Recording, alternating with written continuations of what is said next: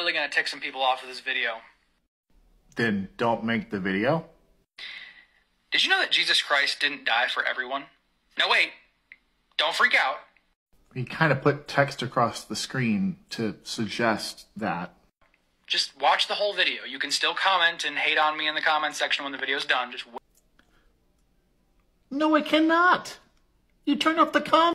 Jesus Christ in John 3:16. What is what does it say in John 3:16? For God so loved the world, he gave his only begotten son, that whosoever shall believe in him will not perish but have eternal life. That's not saying everybody on the planet is saved by Christ's death. That's saying whoever believes in Christ's death, whoever believes in Christ is saved. Ah, whoever believes. Dang.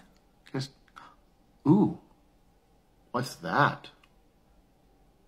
He is the propitiation for our sins, and not for ours only, but also for the sins of the whole world.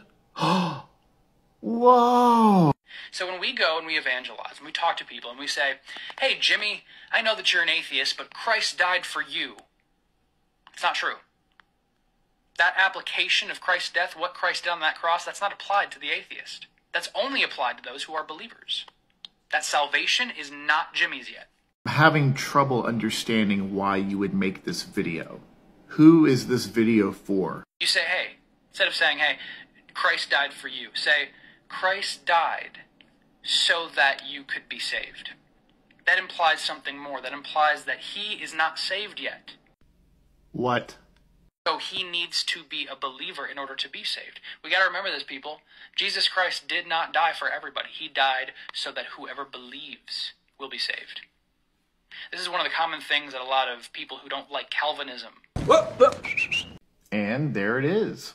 This idea that Calvinism is an unbiblical principle because of the elect. This this something the Bible talks about the elect. In fact, people who are not Calvinists will actually twist Scripture to prove prove that the elect is not actually the elect, and it's it's quite baffling.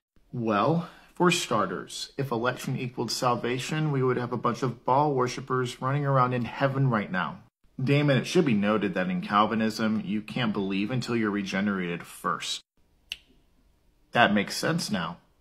It makes sense why your presentation of the gospel would sound confusing. It's to make them freeze right where they're at, confuse them just enough for God to knock them on the back of the head and then drag them kicking and screaming or unconscious, and then they're saved. Cool.